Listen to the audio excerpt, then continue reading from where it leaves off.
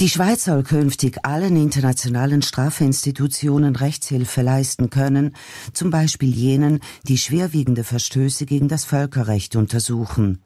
Dem hat nach dem National auch der Ständerat zugestimmt. Bisher mussten jeweils separate Gesetze erlassen werden für solche Rechtshilfegesuche, etwa bei den internationalen Straftribunalen für Ex-Jugoslawien oder für Ruanda.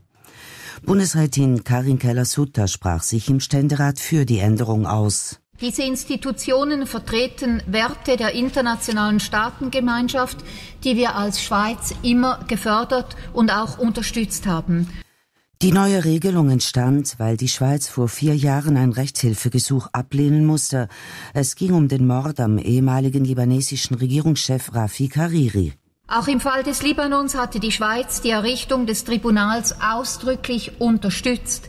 Dass das Rechtshilfeersuchen abgelehnt werden musste, weil in der Schweiz eine Rechtsgrundlage Zusammenarbeit fehlte, war unbefriedigend.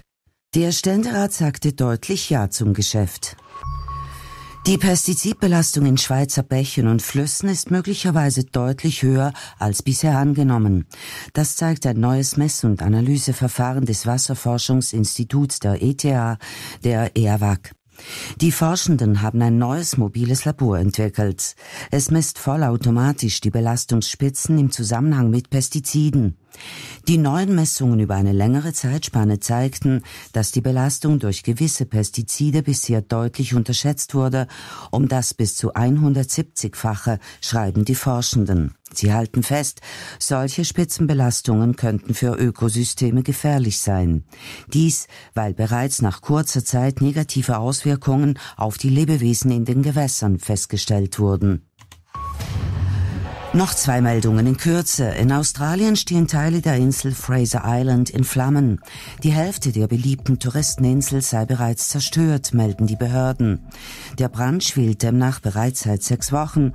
Er könnte durch ein illegales Lagerfeuer ausgelöst worden sein. Japan will den Autoverkehr im eigenen Land weniger umweltschädlich machen. Das Ministerium für Wirtschaft, Handel und Industrie sei dabei, ein Ziel auszuarbeiten. Mitte der 2030er Jahre sollen keine Neufahrzeuge mehr zugelassen sein, die mit Benzin betrieben werden.